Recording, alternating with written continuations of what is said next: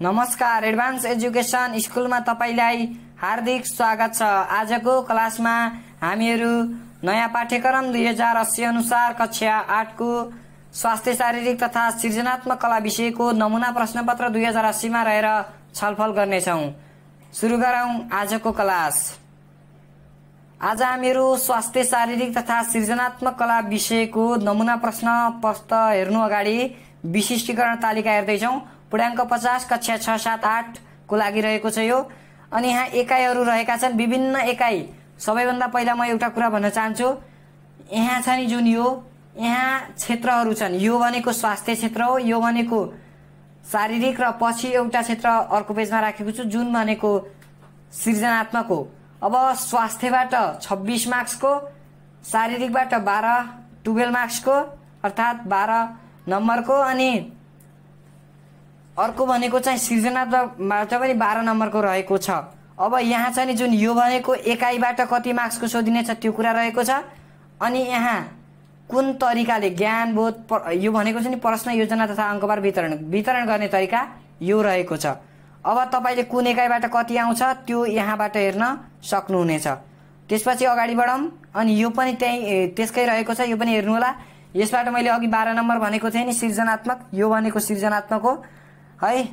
त्यो कुरालाई बुझ्नु होला अनि प्रश्नपत्र निर्माण गर्दा के कुरामा ध्यान दिने? त्यो यहाँ राखिएको छ। तपाईँहरूको लागि महत्त्वपूर्ण कुराहरू यहाँ रहेका छन्। मैले अगाडि भन्दै जानेछु हामीले कस्ता खालका उत्तर लेख्दा हुन्छ भनेर। अनि यो कुरा रहेको छ यहाँ निर्माण गर्दा।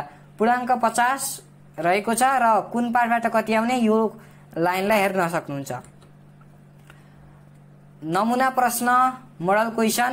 विषय स्वास्थ्य शारीरिक तथा सृजनात्मक कला health physical and creativity arts अब हामीहरू कक्षा आठ पूर्णाङ्क पचास समय दुई घन्टा। मोडल क्वेसनमा चाहिँ सबै प्रश्नहरूको उत्तर दिनुपर्नेछ। समूहका ग्रुप ए ग्रुप एमा अति छोटो उत्तर आउने प्रश्नहरू भेरी सर्ट एन्सर क्वेसन राखिएको छ। दस इन्टु एक बराबर दस। दसवटा प्रश्न राखिएको छ। प्रत्येकको अङ्कबार एकका दरले बाँडिनेछ।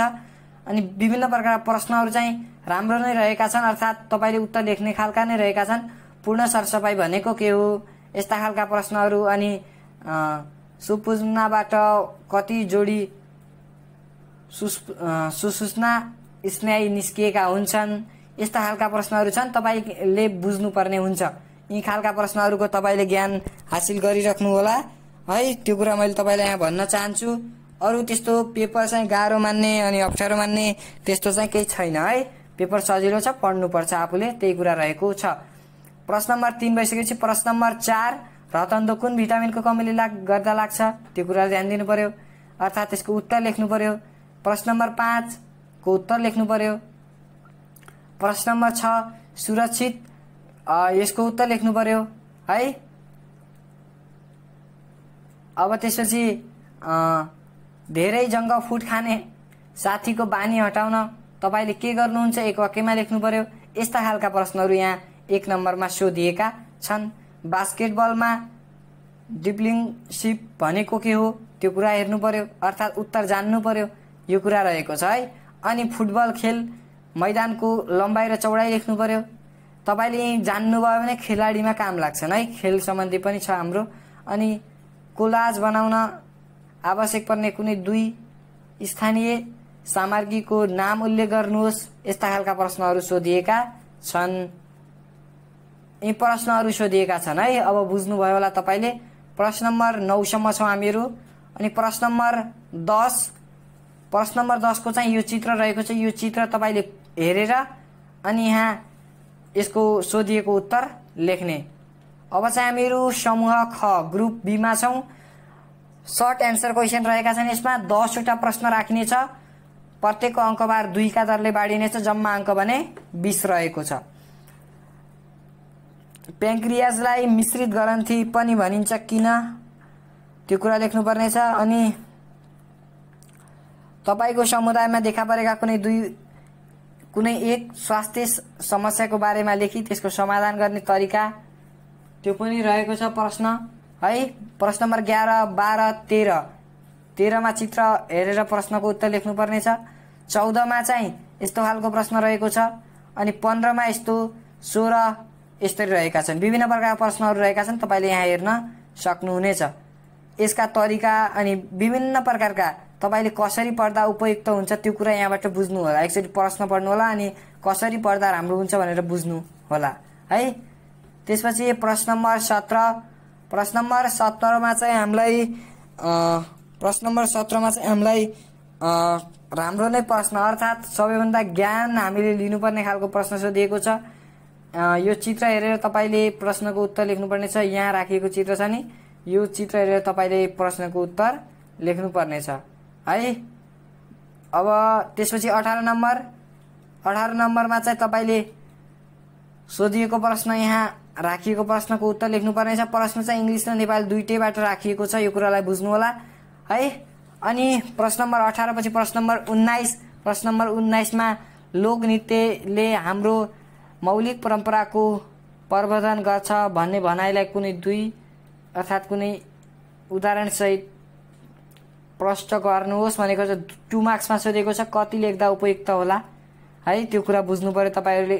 जति धेरै पढ्नुभयो भने त्यति धेरै तपाईँले कसरी लेख्दा उपयुक्त हुने सबै कुरा आफ नै सिक्नुहुनेछ बिस नम्बर तपाईँको गाउँमा मेला पर्व र उत्सवमा गाइने कुनै एक स्थानीय गीत लेख्नुहोस् भनेको छ। अब हामीहरूको समुदायमा गाइने कुनै एक राम्रो गीत अर्थात् उत्सव हामीहरूले स्थानीय गीत लेख्नुपर्नेछ। यसरी हामीहरूले ग्रुप बीमा आउने प्रश्नहरू हेर्न सक्छौँ। ग्रुप बीमा यस्ता खालका प्रश्नहरू सोधिन्छन्। है बुझ्नुभयो नि? पक्कै पनि बुझ्नुभयो। अब हामीहरू ग्रुप सीमा जाँदैछौँ। ग्रुप सीमा लङ एन्सर क्वेसन रहेका छन्। जसमा पाँचवटा अर्थात् यहाँ पाँच इन्टु चार बराबर बिस पाँच चौको बिस है यो कुरा बुझ्नु होला यसमा चाहिँ जम्मा जम्मी कतिवटा प्रश्न रहेका छन्? पाँचवटा प्रश्न रहेका छन् अङ्क भने चार छ। अब तपाईँले प्रश्न नम्बर एक्काइसको उत्तर लेख्नुभयो भने फो मार्क्स पाउनुहुनेछ। प्रश्न नम्बर बाइस फो मार्क्स त्यसरी बाँड्नेछ। एउटा प्रश्नको उत्तर बापत यहाँ चार नम्बर दिइनेछ यो लङ क्वेसन हो। अब लामो उत्तर पनि लेख्नुपर्छ। प्रश्न एक्काइस बाइस तेइस चौबिस पच्चिस। है यो कुरालाई बुझ्नु पर्यो। यसरी प्रश्न पत्र निर्माण गरिएको छ। यो प्रश्न पत्रमा चाहिँ तपाईँले चित्र पनि बनाउने खालका कुरा सबै यस्ता खालका कुरालाई समेटेर पढ्नु होला। यससँगै हामीहरूले आजको लागि नयाँ पाठ्यक्रम दुई हजार अस्सी अनुसार कक्षा आठको स्वास्थ्य शारीरिक तथा सृजनात्मक कला विषयको नमुना प्रश्नपत्र दुई हजार अस्सीमा रहेर छलफल गरेका छौँ। यो नमुना प्रश्नपत्रबाट तपाईँले अवश्य पनि केही कुरा सिक्नुभयो अर्थात् कस्तो आउँछ होला भन्ने जिज्ञासाबाट वञ्चित हुनुभयो भन्ने विश्वास छ। भिडियो डिस्क्रिप्सन बक्समा लिङ्क राखिदिएको छु त्यहाँबाट गएर तपाईँले यसलाई डाउनलोड गरेर हेर्न सक्नुहुनेछ च्यानलको लागि नयाँ हुनुहुन्छ भने च्यानललाई सब्सक्राइब गर्नुहोला अनि भिडियोलाई लाइक गर्न भने नबिर्सिनु होला आजको लागि यो भिडियो क्लास अन्त्य गर्न चाहन्छु। तपाईँहरू सबैको दिन शुभ रहोस्। अनि कुनै पनि तपाईँका जिज्ञासा छन् भने मलाई तल कमेन्ट गरेर भन्नुहोला।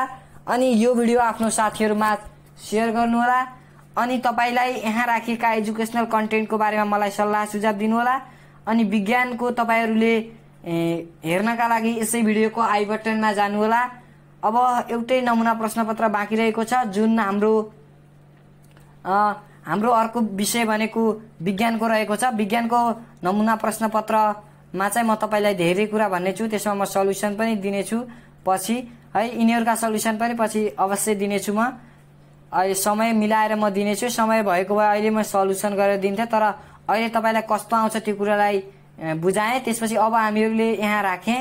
अब हामीहरूले केही समयपछि यहाँ रहेका प्रश्नहरूको सल्युसन गर्नेछौँ। धन्यवाद नमस्कार।